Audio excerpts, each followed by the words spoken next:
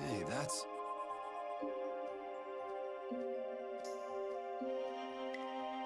I remember when Estelle ate that Nia fruit. That was quite a face she made.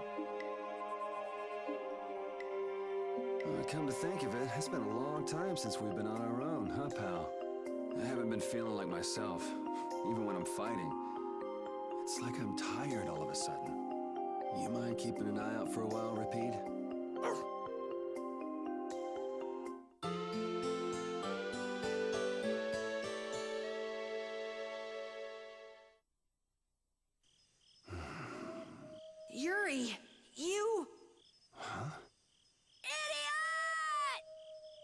Huh? What the? What? Karol? You brain-dead piece of crap! Hey, hold on a sec. You trying to be some stupid lone wolf or something? Lone wolf?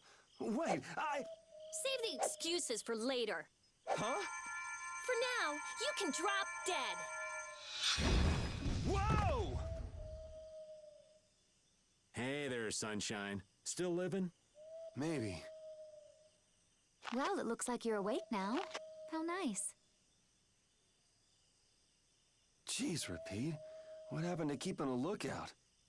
He led us right to you, like a good boy. He's pretty clever, you know. Yeah, he told us if we came this way, we'd see the biggest fool in the world. Do you guys know what's going on? Do you really understand what has to happen after this? You're the one who doesn't understand! Karol. You can't... This is one thing you can't just do on your own, Yuri!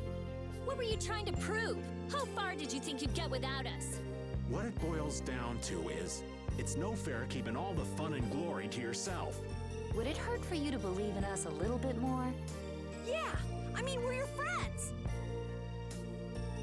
You got me, guys. All right, then. We're all in this together. Until the end. Right! Um, duh. So let's go do this thing. Once we leave the woods, the capital is just right there.